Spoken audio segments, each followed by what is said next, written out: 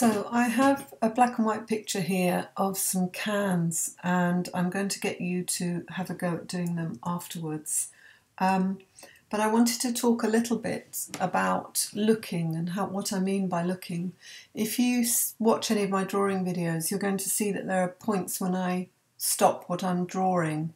And in those points, I'm just looking because I'm trying to work something out. So, for example, I might start here with this distance and use that as a, as a measure.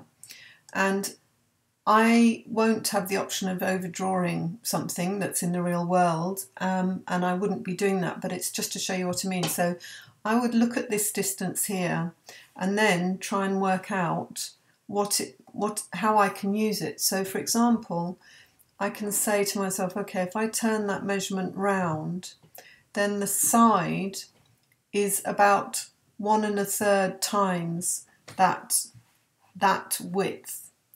But you, you're you're starting to refer bits of what you're looking at to other bits of what you're looking at, and you don't look at this thinking, well, this is a can. I know I know the proportions. You might obviously you know it's a can, but you have to get its proportions from what you can actually see.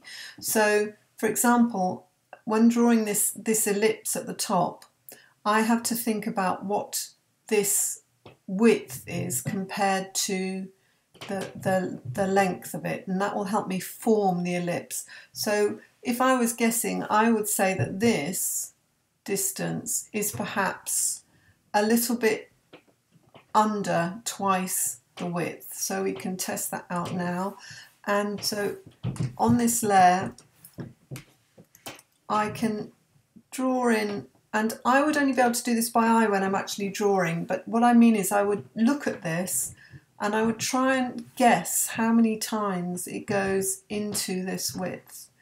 And you can see that that's one, two, two and a half. So I'd have been slightly out. Well, I was I was about right actually because I said it was a little bit over two times. So I'm just doing that by eye and that will help me um, when it comes to drawing that top bit. I've got an idea that the side is going to be, you know, one and a bit times that width. And I can keep using those references.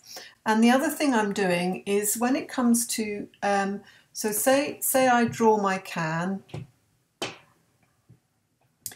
you know, I'm not I'm not being too careful here. So I've got my can, and now I've, I've got to sort of work out where the other one is in relationship to it. So immediately I can see that it starts here. It starts, and I just do that by looking. It starts at a point just below where this ellipse reaches its widest point. So this can starts there. And again, if I come down to where it where it emerges from behind the other can, it's about that distance. I'm just using that as a reference. So I can say, okay, it starts about there, and so I can draw it coming out. And the angles are just as important. You can spend a little while just looking at the angles to work work out what they are. So you just you just let your eye follow this angle and try and work out how you replicate that because that will tell you how to make the relationship between these two objects. So um, if we uh, move on to these ellipses, what one thing that makes this slightly different is that this is it, this one is nice and easy because it's going to be essentially mirrored top and bottom across across that middle line because of the way we're looking at it. This one is not um, it's not if you draw a line across there it's not symmetrical across one axis. It it's skewed because it's twisted away from us. So we have to be have a think about it. You you can by looking you'll be able to see that for example there's a line that goes kind of like that, that might be a better division. And those two halves then start to match each other a bit better. And that's because this angle skews the ellipse away from us. So again, all I'm talking about when I say this is I'm talking about spending a moment with your eye just addressing all of these things. You're looking at the angle, then you're looking at your page and trying to replicate what that angle might be.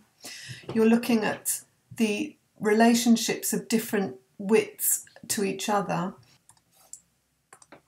This line will be essentially mirrored by this one. Um, things change with perspective and foreshortening, but only in a way that's observable.